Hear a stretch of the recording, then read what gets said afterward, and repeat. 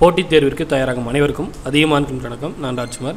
இந்த வீடியோவில் என்ன பார்க்க போகிறோம் அப்படின்னு பார்த்தீங்கன்னா டிஎன்பிஎஸ்சி குரூப் ஃபோர் எக்ஸாமில் அடிஷ்னல் சிவி லிஸ்ட் வந்து வெளியிட்டிருக்காங்க. சரிங்களா? இதற்கான தனி பிடிஎஃப் வந்து இன்றைக்கி வெளியிட்டிருக்காங்க. அந்த பிடிஎஃபில் யார் யாரெல்லாம் அடுத்த சிவி லிஸ்ட்டில் செலக்ட் ஆகிருக்கா அப்படின்ற தகவல் கொடுத்துருக்காங்க. ஏற்கனவே டிஎன்பிஎஸ்சி குரூப் ஃபோர் எக்ஸாமோட முறைகேடு பற்றி எல்லாத்துக்குமே தெரிஞ்சிருக்கும். சரிங்களா? ஸோ அந்த தேர்வுகள் யார் யாரெல்லாம் முறைகேட்டில் ஈடுபட்டாங்களோ அவங்க எல்லாருமே இனிமேல் எக்ஸாம் எழுத முடியாது அப்படின்னு சொல்லிட்டாங்க.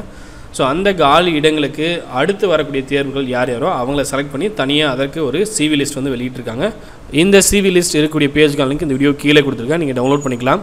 டிஎன்பிஎஸோட அஃபிஷியல் வெப்சைட்லேயும் அதற்கான லிங்க் கொடுத்துருக்காங்க. சரிங்களா? அதையும் நீங்கள் செக் பண்ணிக்கலாம். இமோவும் கொடுத்துருக்காங்க. அதே போல் அடிஷ்னல் சிவி லிஸ்ட்டும் கொடுத்துருக்காங்க. முப்பத்தி ஒன்று ஒன்று ரெண்டாயிரத்தி இருபது. சரிங்களா? ஸோ இன்றைக்கி வந்து அப்டேட் பண்ணி கொடுத்துருக்காங்க. நீங்கள் டவுன்லோட் பண்ணிக்கலாம். ஸோ இந்த லிஸ்ட்டில் உங்களுடைய ரெஜிஸ்ட்ரேஷன் நம்பர் இருக்குது அப்படின்றத செக் பண்ணி பாருங்கள் சரிங்களா? ஸோ இதுதான் ரெஜிஸ்ட்ரேஷன் நம்பர் சரிங்களா? ஃபஸ்ட்டு பேஜ்லேயே கொடுத்துருப்பாங்க. நீங்கள் என்னைக்குள்ளே வந்து சர்டிஃபிகேட் அப்லோட் பண்ணோம் அப்படின்னு பார்த்தீங்கன்னா ஒன்று ரெண்டு ரெண்டாயிரத்தி இருபதுலேருந்து ஏழு ரெண்டு ரெண்டாயிரத்தி இருபது. பிப்ரவரி மாதம் ஒன்றாம் தேதியிலேருந்து பிப்ரவரி மாதம் ஏழாம் தேதிக்குள்ளே உங்களுடைய சான்றிதழ் எல்லாமே நீங்கள் பதிவேற்றம் செய்யணும் அப்படின்றத தெளிவாக சொல்லியிருக்காங்க. ஸோ மற்ற டீட்டெயில்ஸ் எல்லாமே இந்த பிடிஎஃபில் இருக்குது டவுன்லோட் பண்ணி பாருங்கள் நன்றியுடன் அதியமான் டீம். நன்றி வணக்கம்.